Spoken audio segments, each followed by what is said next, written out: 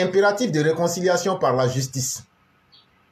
C'est un article qui a été écrit par notre aîné bien-aimé,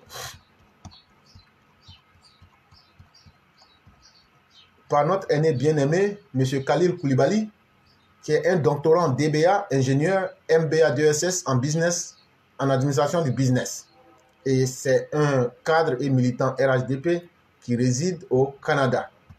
Et donc, il dit dans cet article-là que pour passer, sinon pour en arriver à un pays apaisé, pour en arriver à un pays où les gens se sentiront en confiance, il faut passer par la justice. Vous m'excusez chaque fois que vous voyez que je m'arrête. Ce sont des vendeurs d'illusions qui pullulent sur la plateforme, je ne sais pour quelle raison, et ce qui fait que je suis donc obligé de les bloquer par moment. Il dit donc l'impératif de la réconciliation par la justice. Quand on parle d'un impératif, ça veut dire une obligation de se réconcilier. Mais pour se réconcilier, il faut la justice. Petit 1. Le revers de l'omerta sur les responsabilités des crimes en Côte d'Ivoire. Kone Katina sur le plateau de NCI n'a fait que confirmer ce que nous réditions dans beaucoup de nos analyses depuis l'annonce du retour de Laurent Gbagbo en Côte d'Ivoire surtout de vouloir de la réconciliation sans passer par la reconnaissance des faits, des tueries causées par les acteurs politiques encore en vie. Aucune expérience humaine n'est dénuée de sens ou indigne d'analyse. Voici ce que nous prédisions en 2020 et diffusé pour information. Le retour de Laurent Gbagbo en minuscule allait, à n'en point douter, redonner à l'opposition un regain de vitalité politique et de revendication sociale. Et il faudrait alors compter avec les actions et des intentions des plus incisives contre le pouvoir d'Abidjan.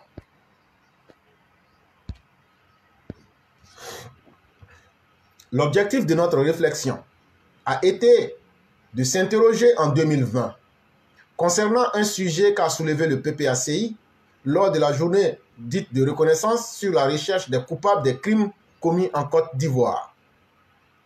Ce questionnement cousu de fil rouge résulte d'un paradoxe observé entre l'appel du gouvernement à la réconciliation sans condition et le refus du PPACI de faire table rase, selon Laurent Gbagbo en minuscule, avec Katina, sans que soit faite la lumière sur les véritables coupables. Petit 2 l'impératif de clarification ou subir la falsification de l'histoire plus tard. Cette conception a été la nôtre depuis 2020 pour avoir formulé des vœux de ne pas dépasser les caractères normatifs d'un appel à la réconciliation sans passer par l'identification des coupables. C'est parce que nous estimions que cette décision échappe à la seule volonté du politique qui ne devrait pas se méprendre de la situation exigeante d'exorciser les problèmes qui couvrent dans les esprits de ceux qui pensent avoir tout perdu par la faute de celui qui se fait passer pour l'innocent. Il s'agit avant tout d'évaluer pour éviter le risque d'une réconciliation précipitée en clarifiant le choix de la meilleure approche. Sans être révisionniste, Laurent Gbagbo en minuscule doit des comptes à d'autres Ivoiriens victimes de sa barbarie, que ses partisans comme Kone Katina tentent de faire croire le contraire comme nous l'avions constaté sur le plateau de télé NCI face au ministre Touré Mamadou, qui a le mérite de l'avoir confondu à plusieurs reprises.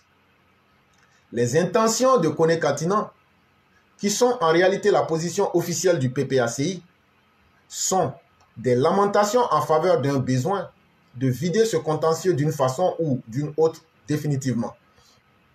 C'est également cette imploration des militants du RHDP, considérés comme les grandes victimes de la gestion du régime de Laurent Gbagbo, qui d'ailleurs en voudront à leur parti de laisser Laurent Gbagbo s'imposer en rédempteur. Si nous le faisons pas, ils le feront à notre place en falsifiant encore l'histoire contre nous. Petit 3. la nécessité de rapprochement par la justice. Personne ne pourra politiquement, malheureusement, répondre ou décider à la place des victimes. Le sentiment est profondément individuel, collectif et social. Bien que leur position sur la question soit muette, par respect pour le président Alassane Ouattara, mais n'en demeure moins qu'elle est aussi tranchée que la croyance de Gore en Laurent Gbagbo. Pour bon nombre d'Ivoiriens, Laurent Gbagbo ne doit, ne doit pas être maître du jeu ou un critère crédible de réconciliation. D'ailleurs, sa place ne devrait pas être celle qu'il occupe présentement. Il devrait être injusticiable pour les crimes sur les déchets toxiques, par exemple, ou l'escadron de la mort à l'image de Donald Trump, qui est poursuivi aux USA, ou Sarkozy, également poursuivi pour des crimes moins importants. La réconciliation doit se faire avec la justice. Les responsabilités doivent être établies. Et c'est après que le pardon viendra. Cet abcès doit être crevé sans occulter les moments douloureux de notre histoire au risque de rouvrir tôt ou tard des sources de conflits latents. Petit 4. Le danger de reproduction du passé au présent. Je reste convaincu que si les choses en restaient là, le dialogue politique instauré en accord avec les partis politiques pour nous amener à la réconciliation ne sera pas au rendez-vous. Son destin sera certainement à l'image du Forum de la réconciliation de 2001 parce que l'entente de pardonner les fautes des responsables d'une crise par des décisions politiques sans qu'ils aient avoué leurs crimes et de surcroît sans prendre en compte sérieusement la vie des victimes. L'occasion est belle, puisque la requête de situer les responsabilités sur les crimes vient du PPACI. Il faut la saisir pour vider ce contentieux littéralement. Quand le reproche est juste, loin de guérir la plaie, il ne fait que l'enveniner, disait GF Marmontel. C'était un article de notre père Koulibaly Kalilou, doctorant DBA, ingénieur MBA DSS en Business Administration.